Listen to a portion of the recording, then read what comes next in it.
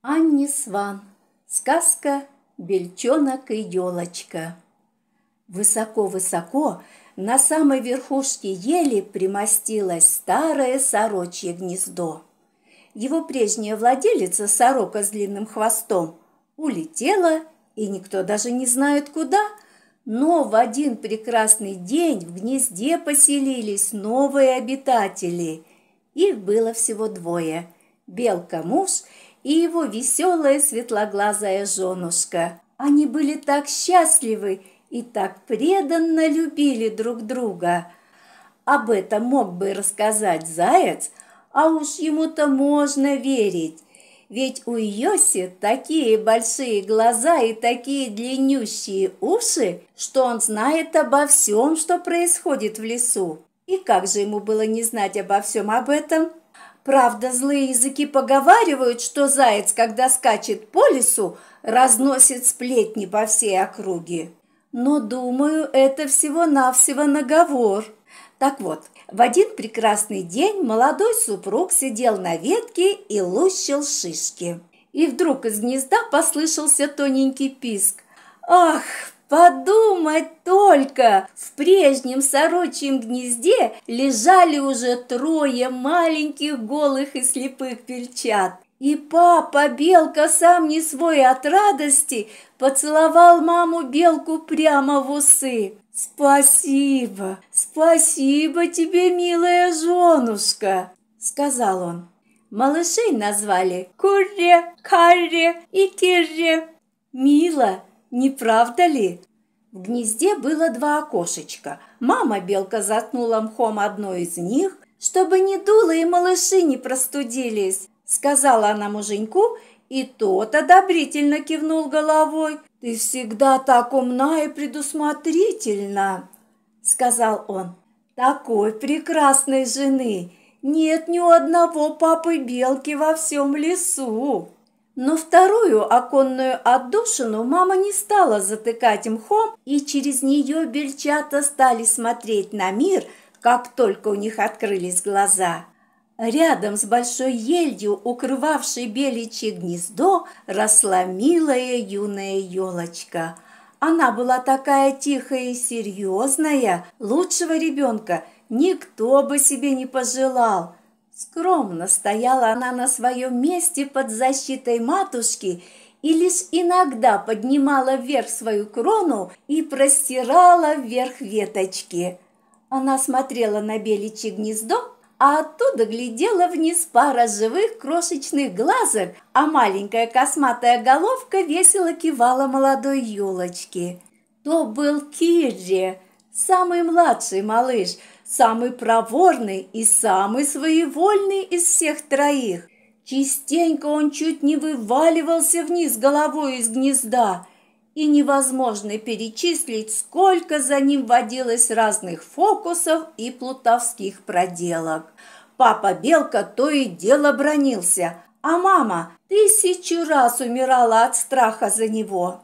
И все же он самый красивый из наших малышей – Кивала на Кирже мама. «Посмотри только!» — говорила она своему муженьку.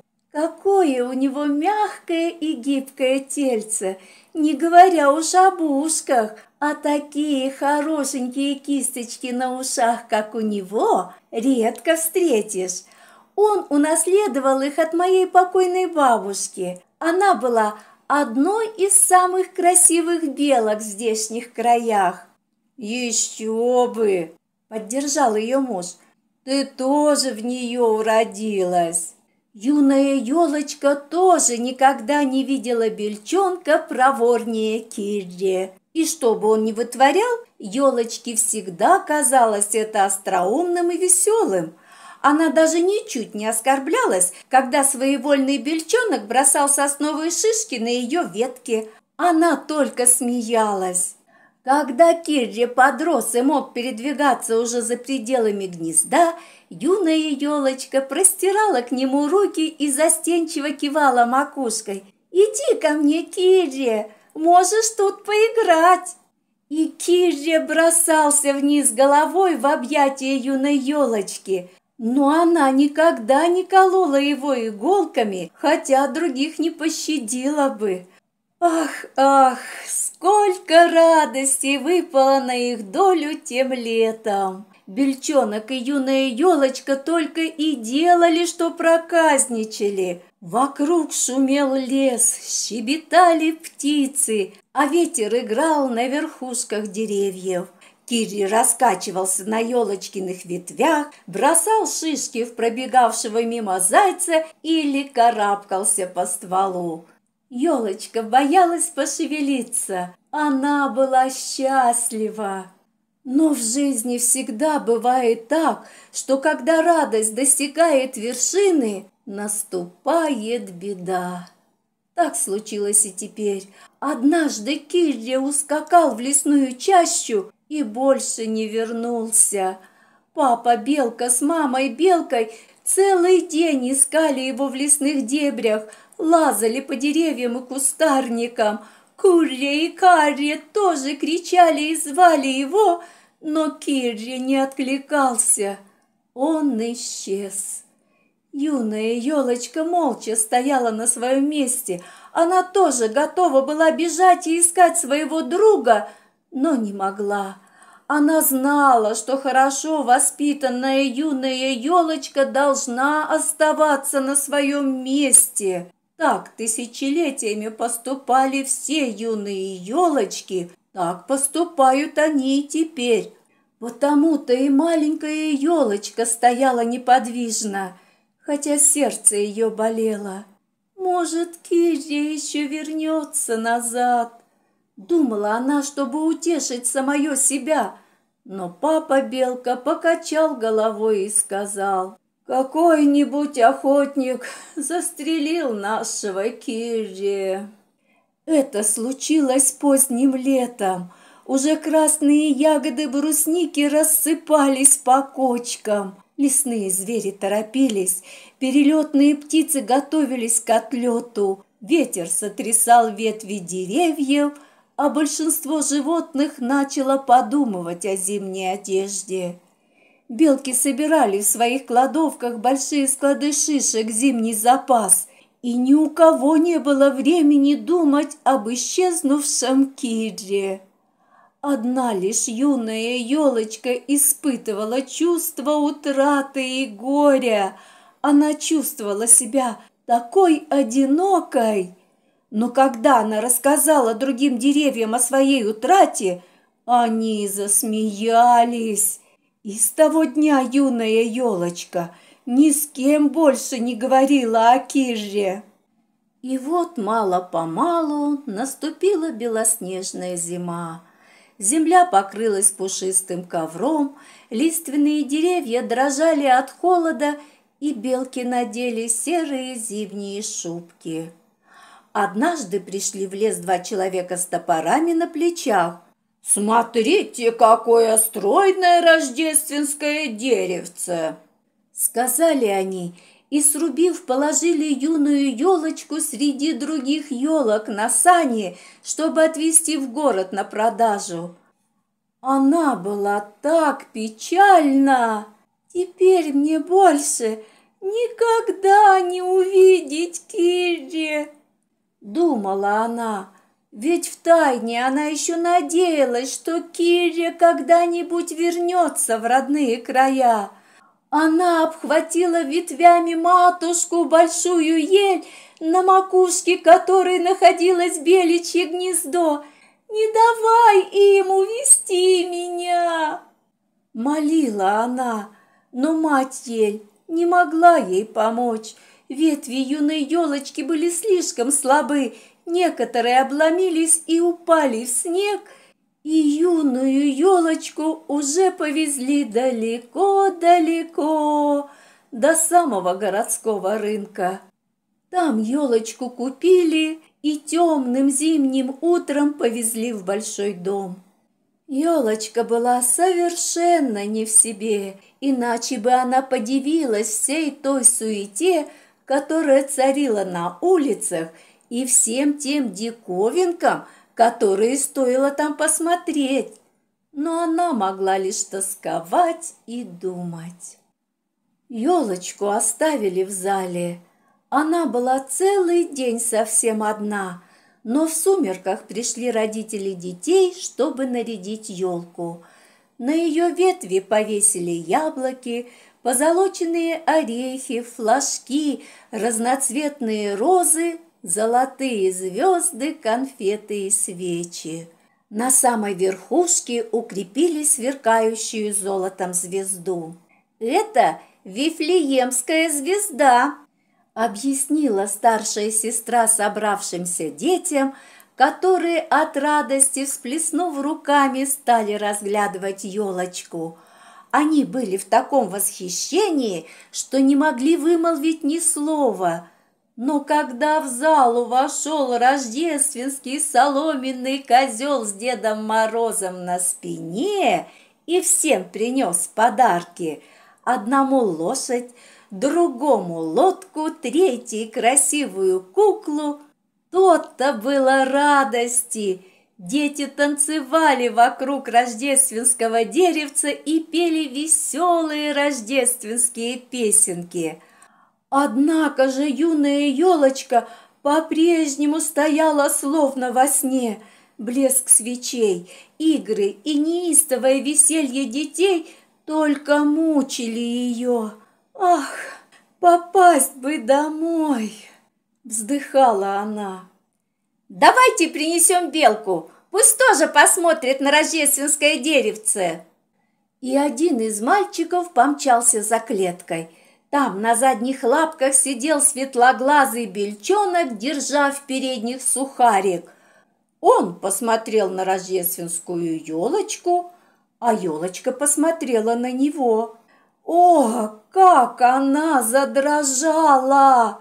Но на этот раз от радости, ведь в клетке сидел Кире, Кире, живой и здоровый! И сразу на душе у елочки посветлело и потеплело. Она не могла шевельнуться, ее ветви были увешаны лакомствами и украшениями.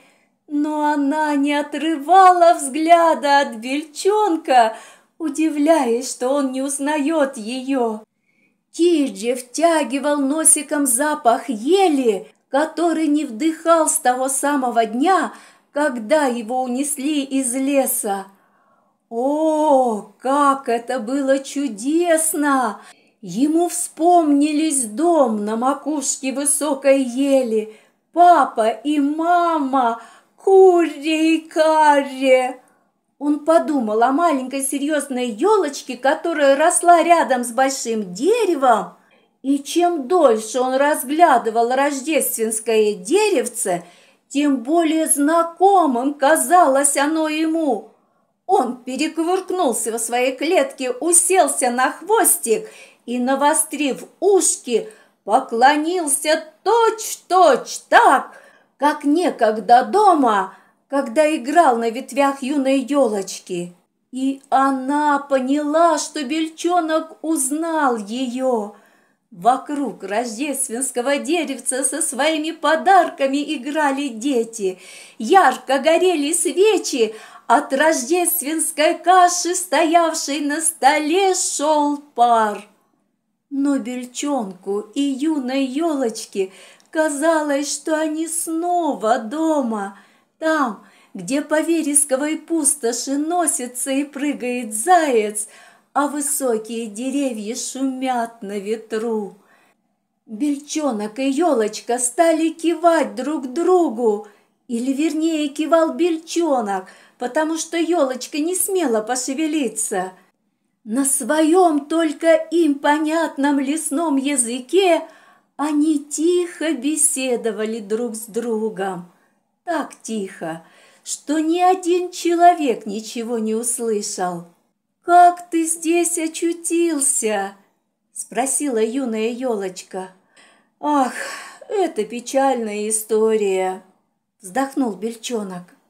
«Ты верно помнишь, что маленьким я был совсем диким и своевольным?» «Да-да, помню», – ответила елочка. «Твоя мама частенько жаловалась, что у нее с тобой хлопот больше, чем с остальными малышами». Так оно и было. А в один прекрасный день мне стало скучно в родном лесу, я носился с дерева на дерево, перепрыгивал с одной пустоши на другую и все дальше уходил от дома.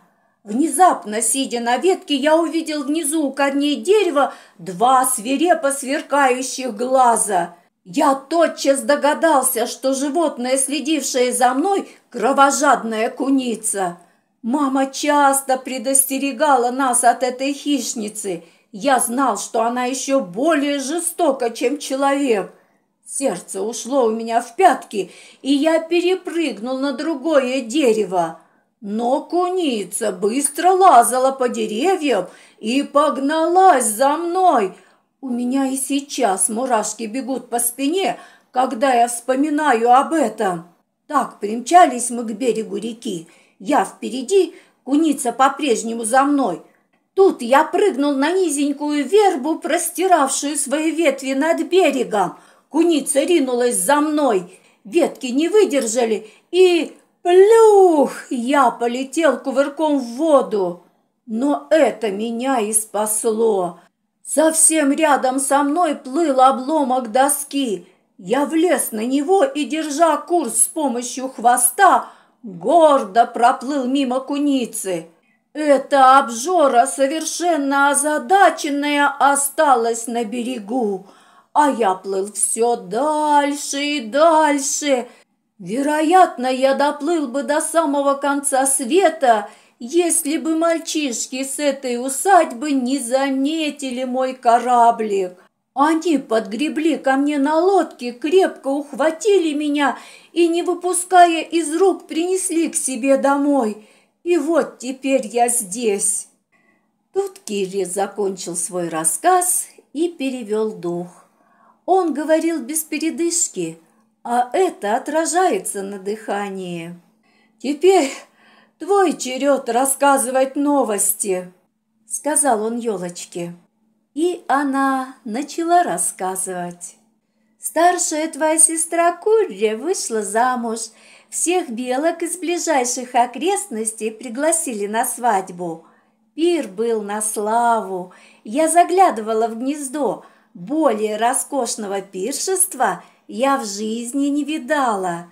Потом Курия со своим муженьком перебралась в совершенно новое гнездо в сосняке по соседству. Там должно быть совершенно хорошо с шишками. Мама Белка считает, что Курри сделала неплохую партию. «Как приятно!» – сказал Кирри. «Расскажи еще!» И юная елочка стала рассказывать, как хорошо в лесу зимой, когда снег покрывает землю, а деревья сбрасывают свои лиственные наряды. Она говорила о том, как грустно было расставаться с перелетными птицами. Они и сами печалились, когда улетали в чужие страны. А Киря слушал, широко открыв глаза – он так несказанно радовался и время от времени вдыхал запах ели. Настала ночь. Свечи гасли одна за другой, детям захотелось спать, и мама уложила их в постель. В зале было совершенно темно. Ель, одеревенелая и застывшая, стояла на полу во всем своем пышном убранстве. Тогда бойкий бельчонок осторожно отворил дверцу клетки. Обычно она была тщательно закрыта, но в рождественской спешке и веселье ее оставили чуть приоткрытой. Кирри ловко соскочил на пол и вскарабкался на ветви елочки. Там он уселся точь-в-точь, точь, как когда-то в лесу. Он выкидывал свои старые фокусы и прыгал вокруг, задрав хвостик. Затем елочке снова пришлось рассказывать о том, что было в лесу. «Да чего же интересно!» – думал Бельчонок. Под конец Кирре захотелось спать. Он прижался маленькой головкой к стволу деревца, скрестил лапки на груди и сладко заснул среди зеленых ветвей. У него было веселое Рождество, точь-в-точь, как у детей, хотя рождественский козел с Дедом Морозом не привезли ему никаких подарков. Во сне он прыгал по своему шелестящему лесу на перегонки с куре и каре. Но елочка не спала. Она разглядывала бельчонка, спящего на ее ветвях, и думала о лесе. В окно заглянул старик-месяц. Он кротко улыбнулся. «Привет с пустоши!» — шепнул он. «Там тоже Рождество!» Юная елочка улыбнулась месяцу. Она была так счастлива. Она нашла своего исчезнувшего друга. Больше она ничего не желала.